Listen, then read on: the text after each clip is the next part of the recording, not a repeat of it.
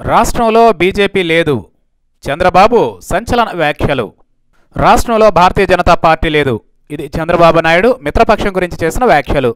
చూడబోతే వచ్చే ఎన్నికల్లో బీజేపీతో పొత్తులు అవసరం లేదని అనుకుంటున్నట్లున్నారు. అందుకనే బీజేపీ ఉనికిపై అంత సూటిగా మాట్లాడారు. రాష్ట్రంలో బీజేపీ కాంగ్రెస్లు లేవని చెప్పడం చూస్తూ ఉంటే చంద్రబాబు మనసులోని ఆలోచన ఏంటో అర్థమవుతోంది. కాంగ్రెస్ పార్టీ లేదంటే అర్థం చేసుకోవచ్చు. కానీ బీజేపీ కూడా లేదంటే ఎలా? నిజానికి బీజేపీ రాష్ట్రంలో బలం ఎప్పుడూ లేదన్నది వాస్తవమే. అయితే పోయిన ఎన్నికల్లో బీజేపీ వెంటపడి మరీ పొత్తు పెట్టుకుంది ఎవరు? చంద్రబాబే కదా. పోయిన ఎన్నికల్లో అంతలా వెంటబడి పొత్తులు పెట్టుకుని ఇప్పుడు బీజేపీ రాష్ట్రంలో లేదని చెప్పడంలో అర్థమేంటి? అంటే వచ్చే ఎన్నికల్లో బీజేపీతో పొత్తులు అవసరం లేదని చంద్రబాబు మానసికంగా సిద్ధపడినట్లు అర్థమవుతోంది.